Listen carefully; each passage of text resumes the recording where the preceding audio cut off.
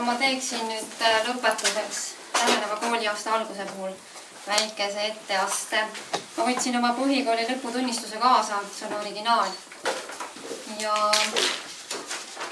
see on välja antud üheksakümne seitsmendal aastal. Äh, selle tunnistuse omanik Ela-Maria Roots on sündinud tuhande üheksasaja kaheksakümne teisel aastal Alatskivi vallas. ja tema käitumine oli hea.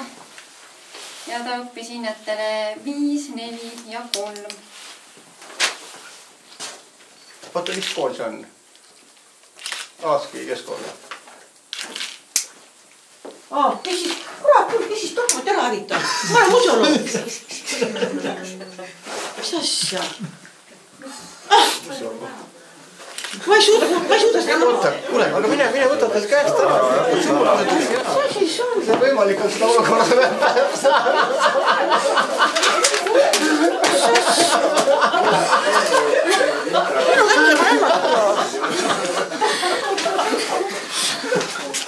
juhend ei hävi.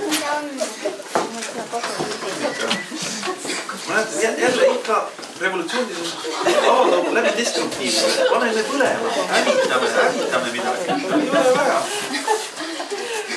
nii, aga lähme nüüd tõesti otsad siis peab olema maailma petmise kolm. mis on, mis on kangelastega, kangelastega on